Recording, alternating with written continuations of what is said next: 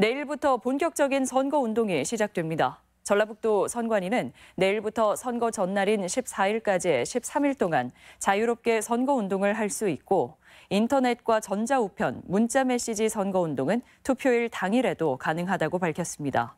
하지만 비방, 허위 사실을 사회 관계망에 공유하거나 퍼나르는 행위는 법 위반 가능성이 있고 18세 미만의 경우 선거 운동을 할 수 없습니다.